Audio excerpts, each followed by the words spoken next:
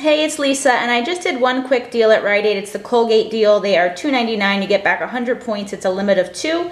We have the $2 manufacturer coupons from last week's inserts, so it's a freebie. The only other deal that I, I thought was pretty good is on the Ziploc bags. Now, you have to buy two of them to make them $3 each. And when you buy two, you get 200 Plenti points back. It's a limit of two. So if you bought four of them, it'd be $12. And we have the dollar off of two printable coupon from coupons.com. You can use two of those. So you'd pay $10. You'd get 400 points back.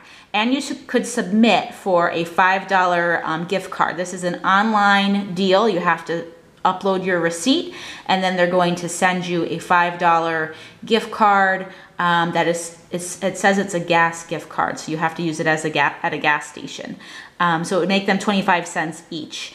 I am not trying the deal because i really just don't want a printed $5 gas gift certificate that i'm going to have to try to find a gas station that will accept. Uh, it might be easy to use i don't know but it, i just don't want to be bothered with it but it's definitely um, a good price for the Ziploc bags. And if you want to try it, if you just search for um, Ziploc rebate online, I'm sure you'll come up with the rebate form.